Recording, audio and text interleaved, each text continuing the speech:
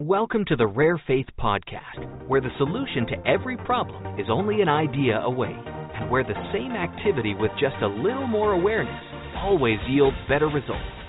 Award winning best selling author Leslie Householder brings some of her best information to this inspiring series of life changing episodes that you won't want to miss. Show notes for this episode can be found at ararekindoffaith.com. Brothers, welcome back to the Men of Purpose Summit. I'm your host, Scott Willhite, founder of Encourage.life.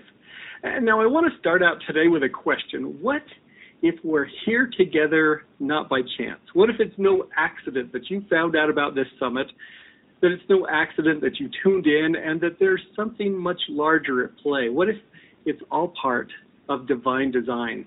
It's an interesting thought, isn't it? From my experience, I've had moments when I bumped into the right person at the right time in the right place. As they say, when the student is ready, the teacher shall appear. Well, this is what happened to me a few years ago when I first met our next guest, Leslie Householder. It was a perfect moment for me. I had plateaued and I couldn't figure out how to break through the ceiling. I invested in her course. Actually, I should say I invested in myself and bought her course. And what she taught me was transformative. I hope you find similar value today. So let me introduce her right.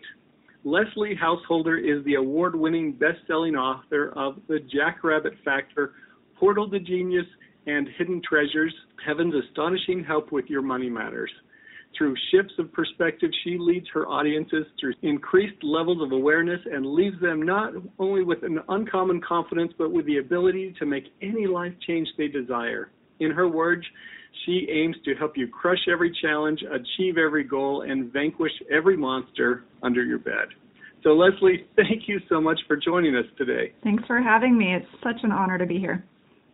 Well, it's such a treat for me. I so appreciate it. Years ago, when I was stuck, you know, I had these limiting beliefs that I was working on, working on, working on. And when you taught me about terror and taught me about how to move through that and really activate my faith. So that's what we're here talking about today. You know, how is it that we can tune into our inner compass, our inner voice? How can we listen to that guidance system inside that will help us make good choices?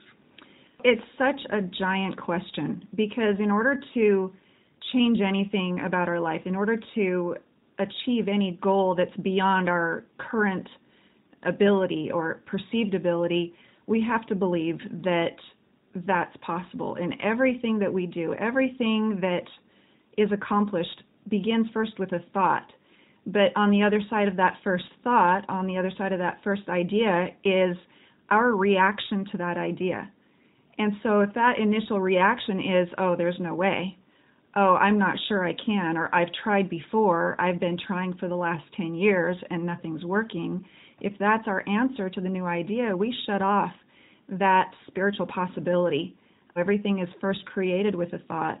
So, in the work that I do, I help people get past that first little piece through just understanding how the universe works, how life works. It's kind of like I do this exercise in large groups sometimes where I'll put up a series of numbers on the wall or on the screen, and it's 1 to 60 and their job is to look for every single number in sequential order until they get to 60 or as far as they can go in one minute.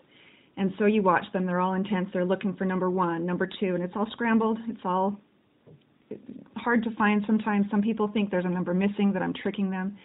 But when the time is up, I ask them how far they got. And then we do it again, but this time I show them how the numbers are actually grouped in a certain pattern that was not obvious to them before. And then I say, here's the pattern, now do it.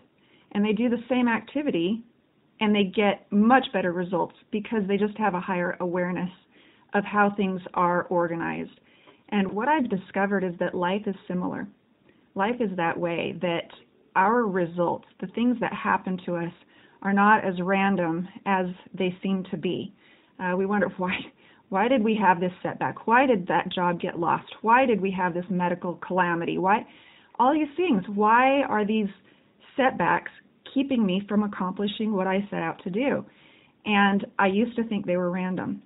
I used to think that they were maybe to punish me or I don't know. It, it, we we went through some really really hard times my husband and I when we first got married and I just couldn't figure out how everybody's life seemed to be just progressing along and we just kept hitting challenge after challenge after challenge from a job loss to a medical problem to a I don't know what all. It was just it beat me up. It beat us both up. And you begin to wonder what's the point? Why keep trying? I have thought more than once what a relief it would be not to be living anymore. I've been there. And part of it's because I was raised to believe that anything's possible. And so when I go out to apply that hope and things get worse instead of better, you, you start asking questions.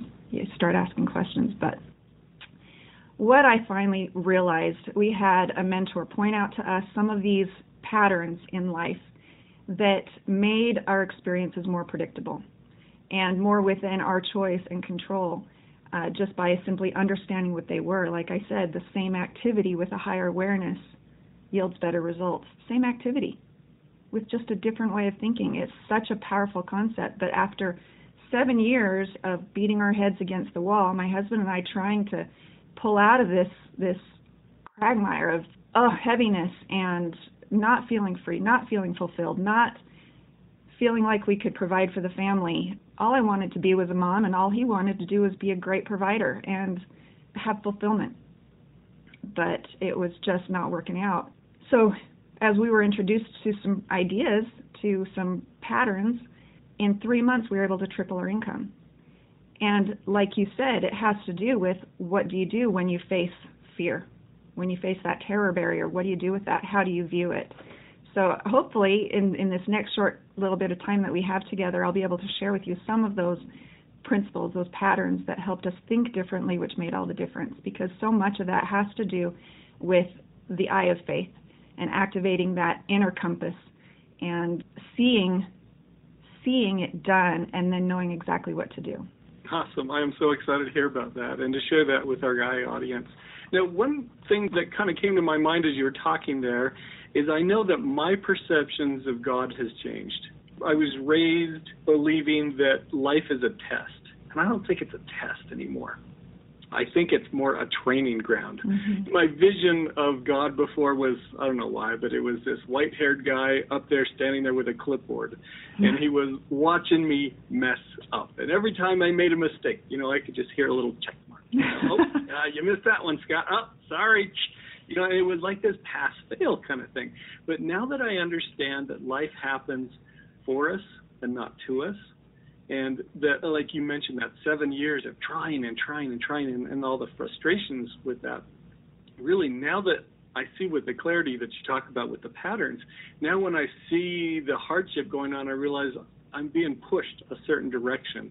Oh, maybe there's a lesson to be learned. Maybe there's, you know, a challenge to overcome and new skills to gain. So, with that little bit of understanding and with hearing your story, can you dive a little bit deeper into how it is that we cross that barrier and how we change our mindset? Yeah, absolutely. First of all, it needs to begin with what do you want? What are you trying to accomplish? Where are you trying to go? And for a lot of us, at different times in our life, we have no idea. All we know is we want to feel different. We want to feel fulfilled. We want to feel like we're on purpose. We want to feel like we are in a good groove and getting things done and accomplishing because that feeling that comes with that is so it's hard to put a word to a feeling that is beyond words. Do you know what I mean? But I think we all know that it exists and that we're looking for that. And so what happens is if we're unclear about where we're going, it's kind of like think of an old fashioned jukebox, all right? This jukebox is full of tens or hundreds of different songs that we could listen to if we wanted to. And we go to the jukebox and we're like, we want to hear a song. And we sit there and we wait and nothing happens. Well, in order to get a song, we have to make a selection. All of the mechanism for delivering that song to us is ready. It's ready, it's in place, it's waiting. And it just requires that we make a selection. And so we choose one. We look at the list, we find one that we like, the idea of it. We imagine, yeah, I'd like to hear that song, and we find it on the list. and we push the button. That's making a selection. And I want you to think about this in terms of goal achievement and fulfilling a purpose. Nothing moves until we decide.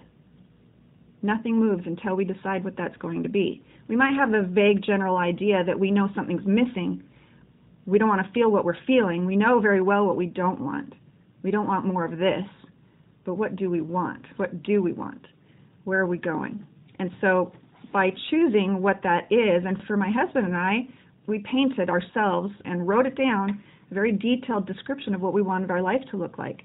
One of the best exercises you can do is imagine yourself on that last day of life, whatever that's going to be. Maybe you're going to be 110 years old or wherever it is, but imagine yourself on that day. You know you're passing away that day and you're at peace with it, you're ready, you're looking forward to whatever lies beyond, and you're reflecting back on your life.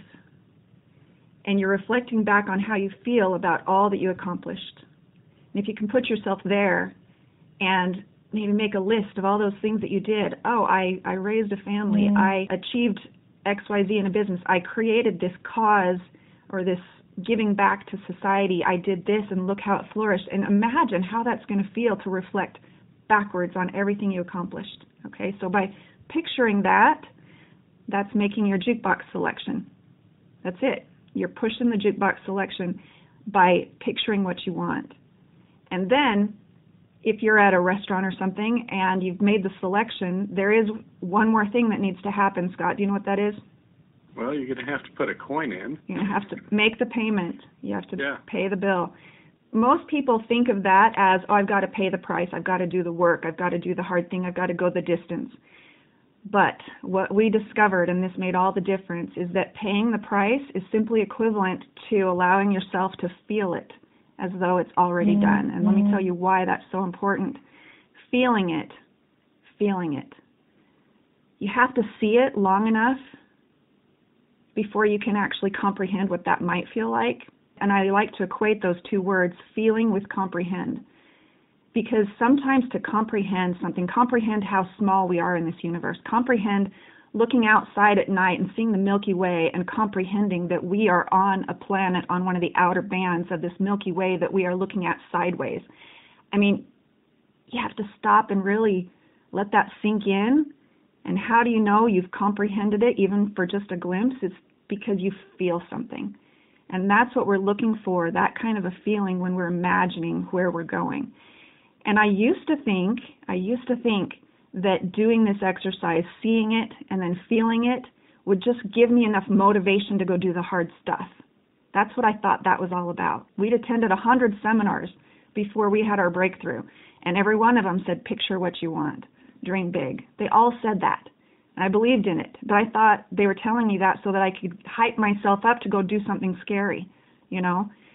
But what I learned and what we've proven and tested for the last 18 years over and over and over again I'll tell you stories as we have time, but that that seeing it and feeling it is kind of like sending out this nuclear blast from where you are that starts setting things in motion for you and you can trust that once you have everything you need is starting to line up for you. And so you make your selection and you pay the coin by feeling it or comprehending it even just for a minute. And then I found a video of this jukebox inside where they push the button and the gears start turning and everything starts shifting and the chain starts pulling and everything and it takes a while for that vinyl to come be laid down. It takes a while and you're sitting there and I'm thinking these this poor generation that's used to everything being as quick as a button. They're waiting for this jukebox to move mechanically this thing into place and that to me is so symbolic of life and this pattern that I talk about. When you do these things, it's activating a spiritual side of you that is often very dormant in our lives. That seeing and feeling, it's acting with an eye of faith.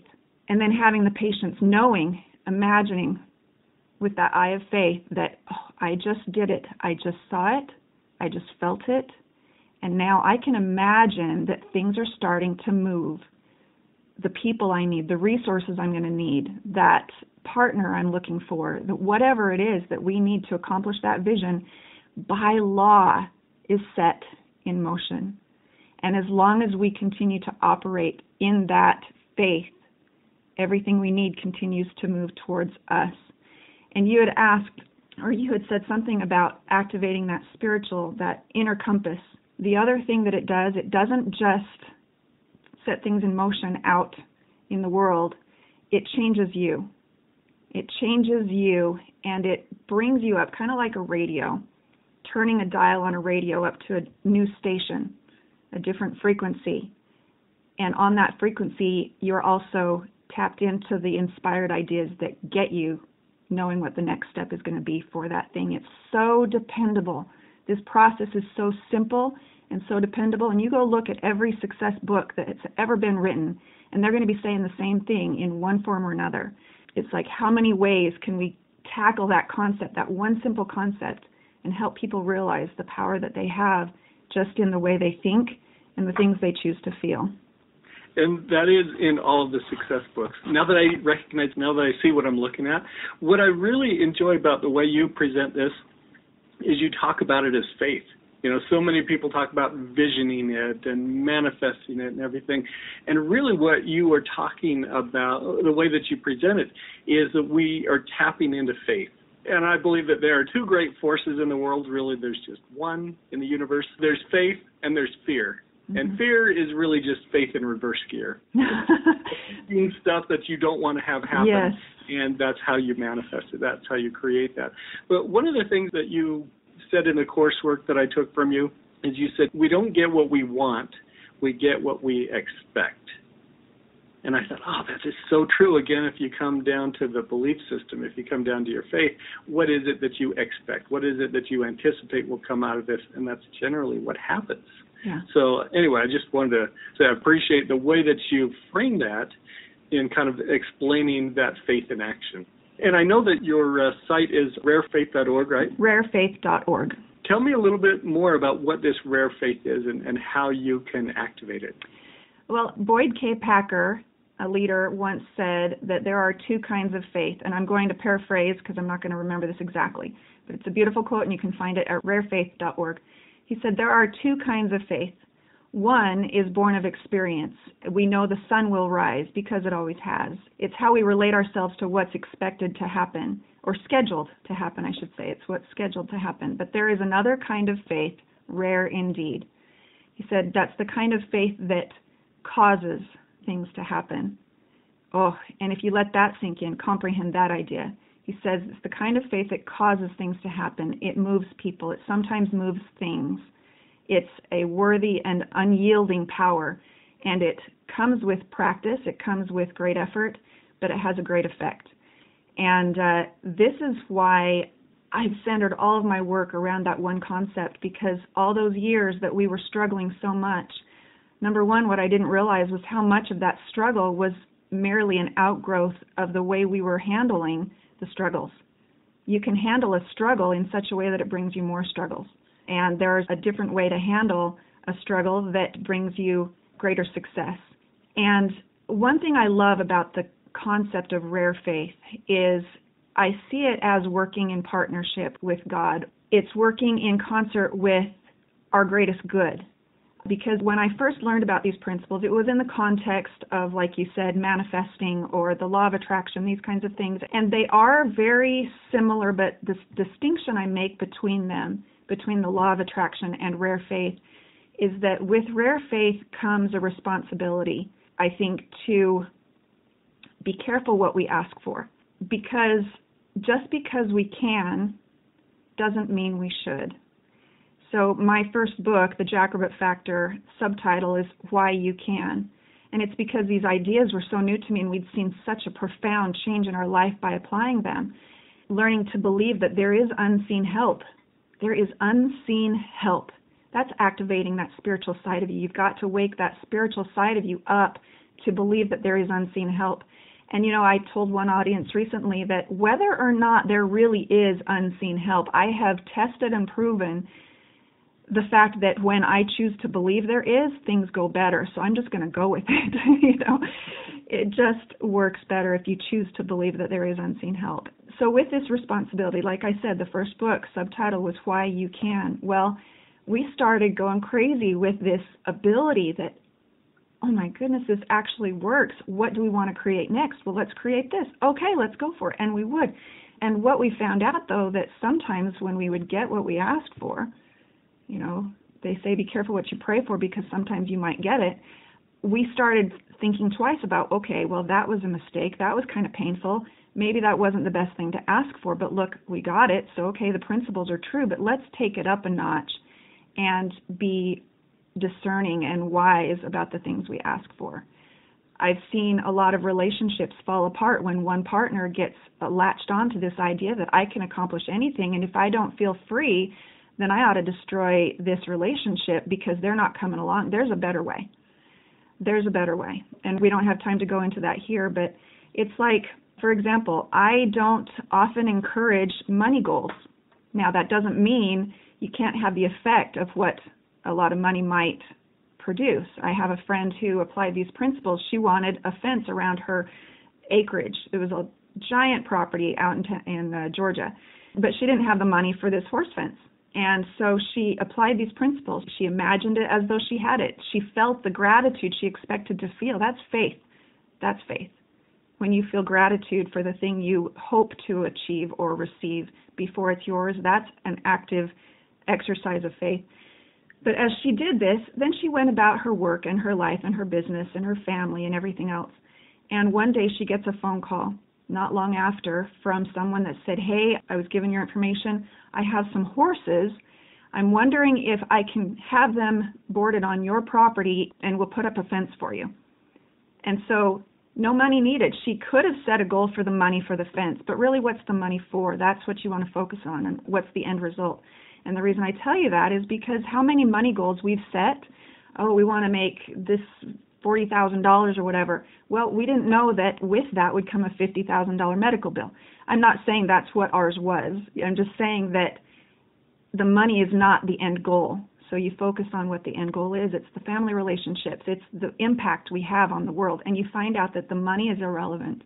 It truly is. If you need the money, that's what will come if you need a resource that somehow achieves it without the money, that's what comes.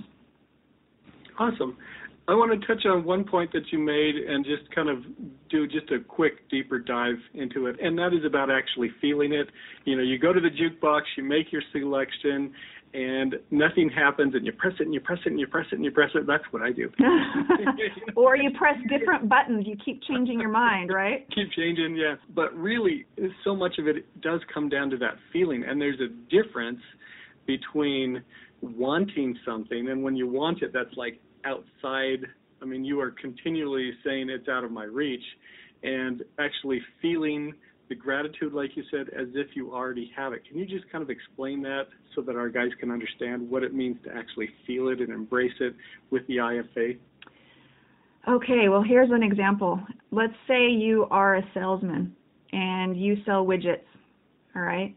And uh, maybe we can take our listeners through a quick experience here. You close your eyes and you have a goal to sell a certain number of widgets that month, all right? And how does that feel that it's already done? Okay, well, here's what you do. I imagine sitting at the desk and you just hung up the phone call from the last sale. You hung up the phone, you lean back in your chair. What are you feeling? Oh, I got to call my spouse. So you pick up the phone. You imagine yourself picking up the phone and dialing the number, and uh, your spouse gets on there. And what do you say? Guess what? We did it! We did it! and you jump up and you do a little jig, whatever it is, you live it. You live that moment. You live that moment, and that's putting the coin in the jukebox. Awesome. And then, just for our listeners, as you do that, part of the success of it is that you do it repeatedly too. You know, just like with exercise. Enjoy that feeling, do it every day or something like that, so that you can really enjoy that. And uh, it's just a bit of a workout to get your faith up to a level because it, it takes a little while. So it takes a while until you believe it.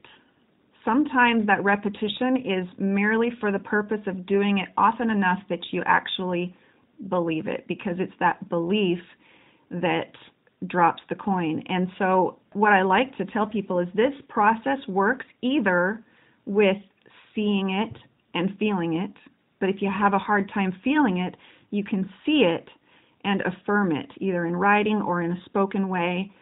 I am so happy and grateful now that we've done XYZ, or now that we enjoy whatever this is.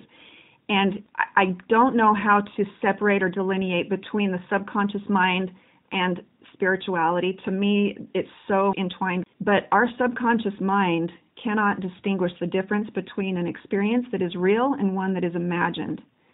And as we engage that part of us, the part of us that keeps us safe, the part of us that guides us on autopilot, when we're not thinking, it's guiding us, it's protecting us, it's keeping us safe, but it can also lead us and guide us to what we're trying to achieve and the steps we need to take. But sometimes that feeling and getting it down into the subconscious, getting that down into our heart, is hard. And so we repeat, repeat, because if we tell ourselves a lie often enough, we will begin to believe it. And it feels like we're lying. I have this. I am grateful for that. I'll tell you a quick story. When I first learned these principles and we saw such a huge change in our life so quickly, I thought, oh man, I need to write a book. And I thought, this really is an important book. It needs to be a bestseller. I don't know how I could do that. And I had written a goal statement for my life. It was about eight pages long of everything that was kind of in my mind that I wanted to achieve. Now that I know these things work, I thought, well, I better get busy. Because if I'm just wasting, wasting my time just floundering or floating without making a decision, without making a, I mean, anything could happen. Anything could happen in my life if I don't decide on where I am going, right? I don't want to leave that to chance. So I'm going to choose. So I made my eight page statement. And in that, everything I was able to think and feel and imagine pretty well. But there was one statement in there I couldn't believe. It was a struggle, and that was I am a best selling author.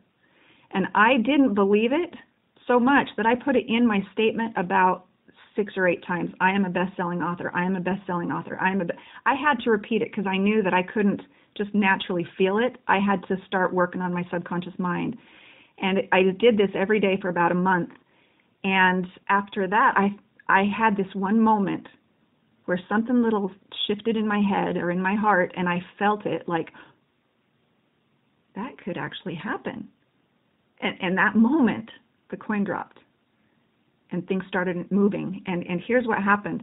It was probably in the next week or two later, I got an email from some person in New York on the other side of the country uh, who wrote me and said, Hey, I just read your book, Hidden Treasures, which I had already written.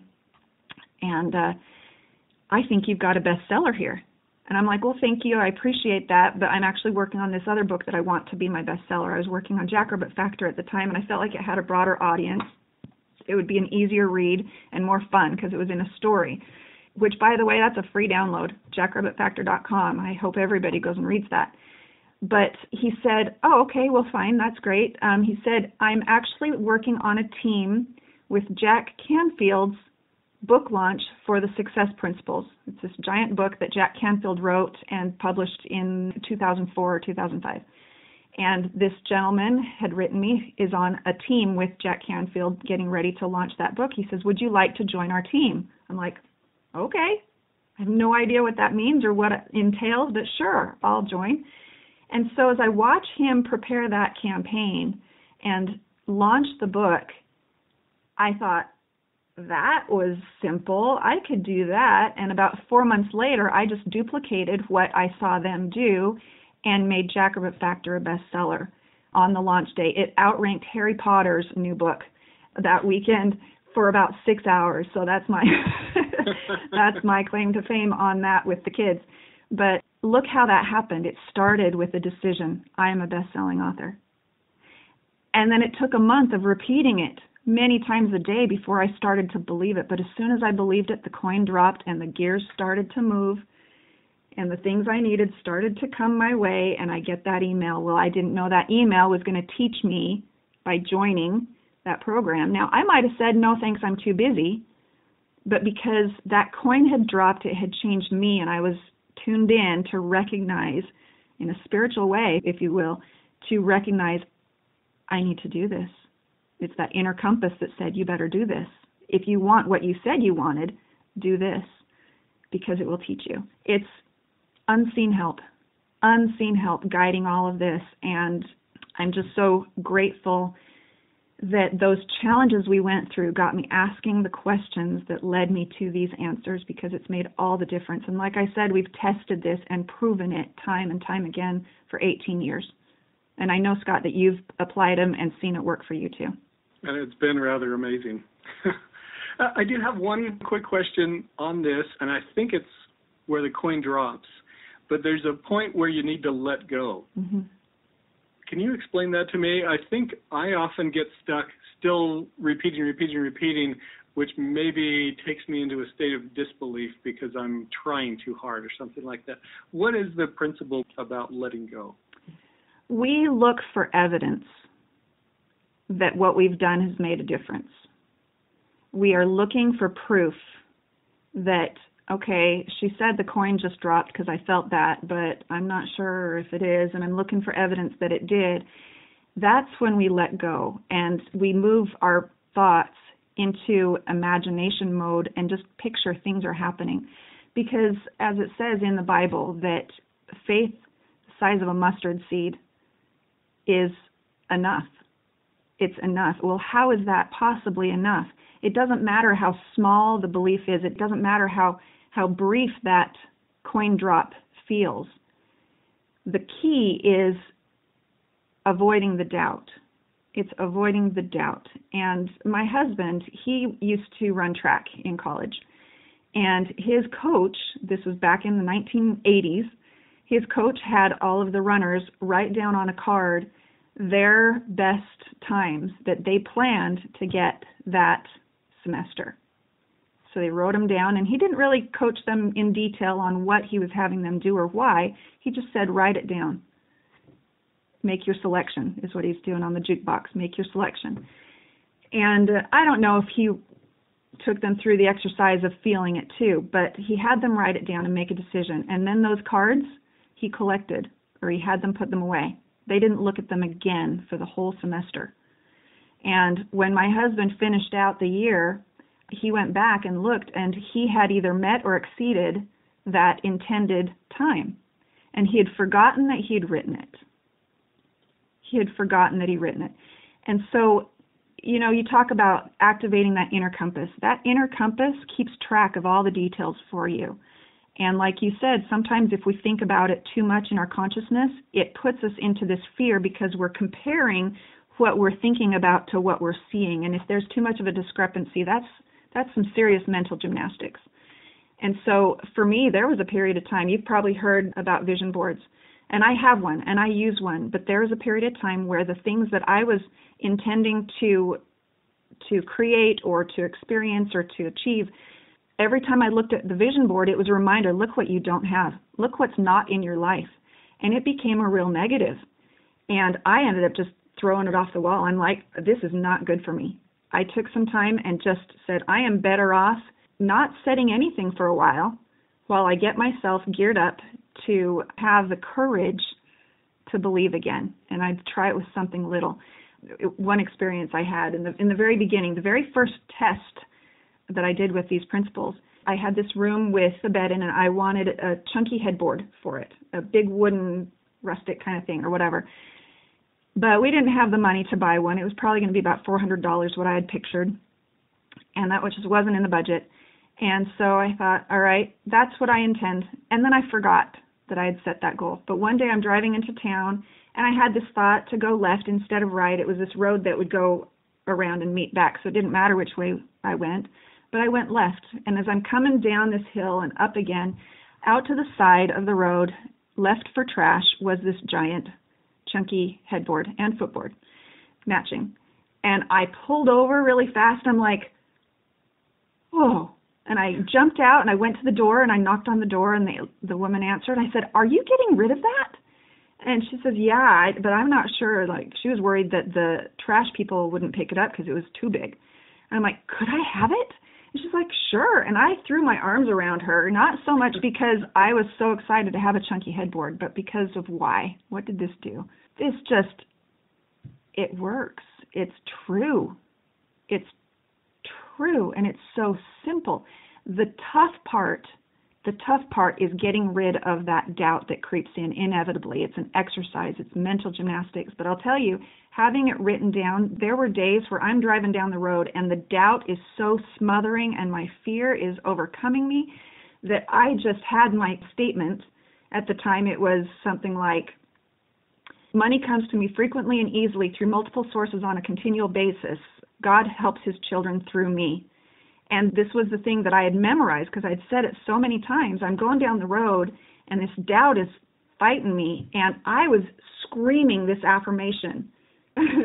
Money comes to me frequently and easily through multiple sources on a continual basis. God helps his children through me. And I'm screaming it, screaming it, trying to fight that doubt. But over time, the fight is less and less and less because your determination has no room for it. Your determination has no room for the doubt until ultimately we become unstoppable. And even when things don't go the way we think they should or the way we wanted them to, or maybe our deadline was missed, in that moment, in that moment, we choose gratitude. Why? Because gratitude keeps us up here on that broadcast that has the answer on what to do next because sometimes life is a test. Sometimes life is a test, but in all of it it's a it's an education and we are our own um, nobody can choose our thoughts for us. Nobody can cause us to doubt without our permission. And I'm not going to say there won't be doubt. There will be doubt. It will happen. But after you doubt, you say, oh man, now it's not going to work. No, in that moment you say, oh, okay, that was a bad day. I choose to believe it's still on its way. And as long as we continue to choose to believe, that unseen help is continuing to help. You know, on the jukebox, you make a selection, you drop the coin, and those gears start to move. Look it up sometime on the internet. Go look at the inside workings of a jukebox and watch how long it takes for it I mean, this carousel seems to rotate like three times before it finally pulls it out. It didn't have to rotate three times, but it's not very efficient.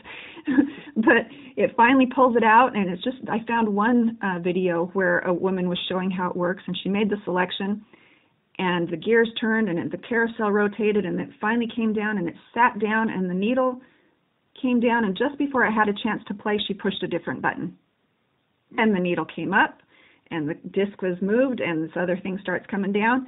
And that's why we don't see evidence of our thoughts and our feelings because we're doing this all the time, whether or not we know it.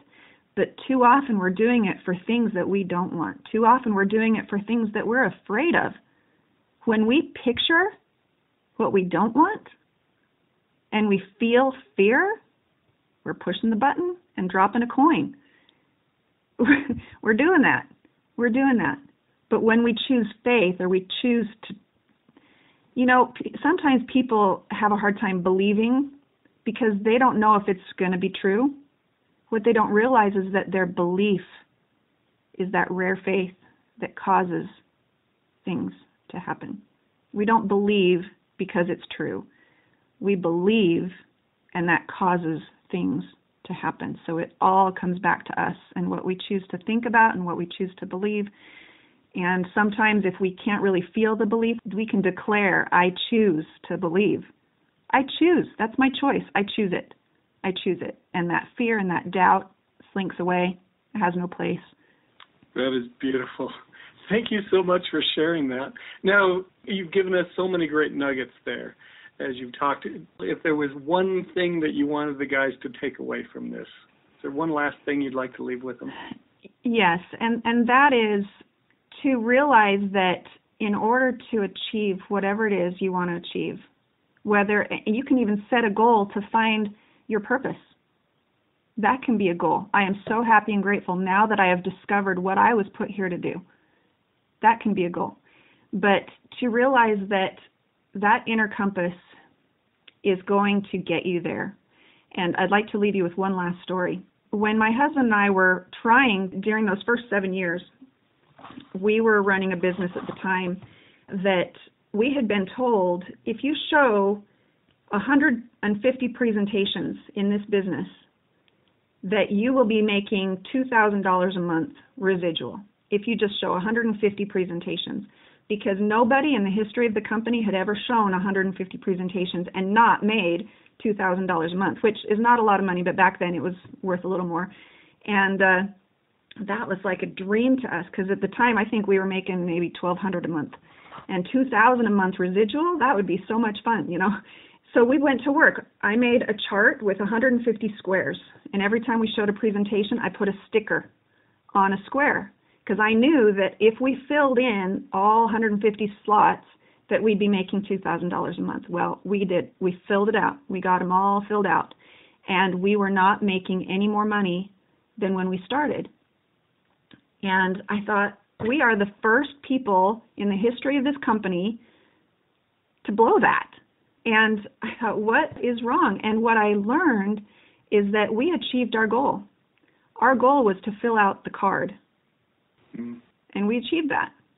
While other people were showing 150 presentations and actually making money with it, these are people who had a bigger reason than stickers on a card. They knew what that $2,000 a month was going to be for. They were living that. They were living what that $2,000 would have done for them. And uh, what's funny to me though is that as we were filling this out, our goal was, oh, we just need another sticker. And so the kind of people we were giving presentations to were the people who were kind enough to let us show them a presentation. Where the other person who has a vision and the feeling around what the money's for are attracting people or resonating with the kind of people who were interested in the product and wanted the product. Same activity, two different mindsets totally different results.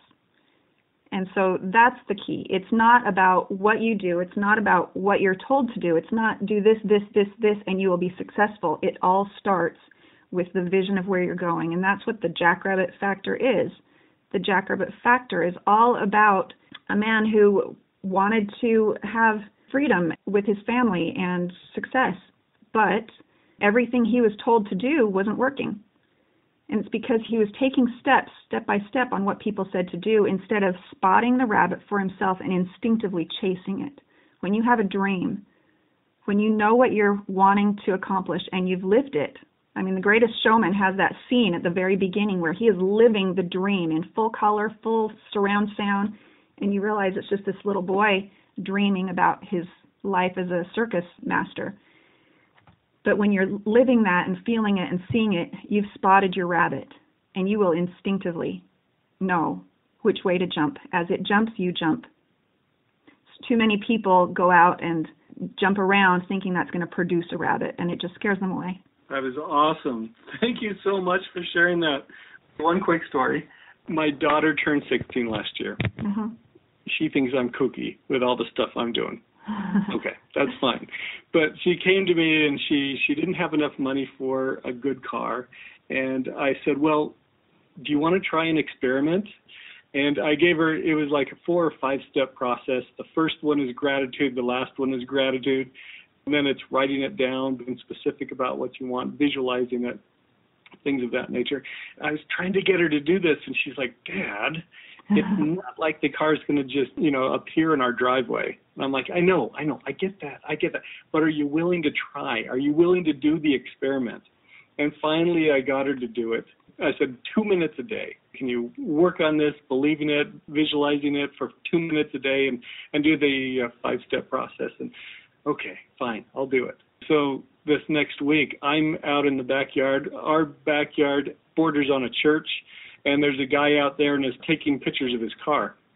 So I start chatting him up and uh, talking with him about it, and oh, he's selling it. Oh, really? How much are you selling it for? The price that he said was the exact price she had in her budget. really? Tell me a little bit more about his car. Anyway, it turns out it was a Lexus. Oh.